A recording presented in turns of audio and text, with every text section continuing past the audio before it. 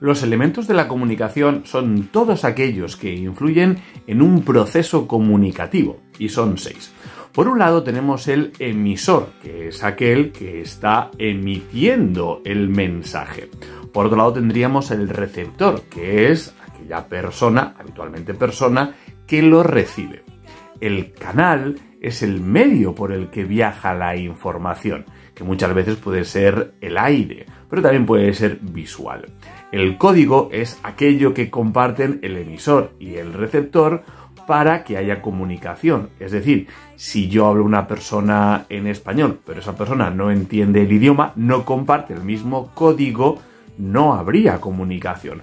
O si alguien habla conmigo en el lenguaje de signos y yo no lo entiendo, como no compartimos ese código, tampoco habría comunicación. Por otro lado tenemos el mensaje, es decir, aquello que se está comunicando. Y por último tenemos el contexto, que es importantísimo, porque es todo aquello que rodea precisamente a la comunicación. Y el contexto es fundamental para que el decir una cosa tenga un sentido u otro en función de ese propio contexto.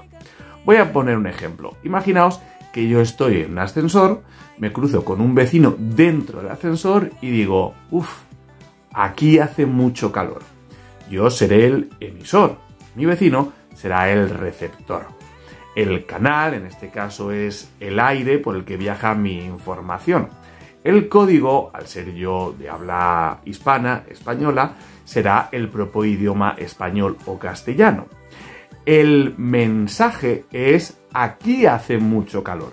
Pero ojo, el contexto que lo marca todo es que estamos dentro de un ascensor dos personas metidas, que no es lo mismo que si uno está en la calle o si otro está en una situación completamente distinta. Así que estos serían los seis elementos de la comunicación que debemos de tener siempre en cuenta en cualquier proceso comunicativo. ¿Y tú?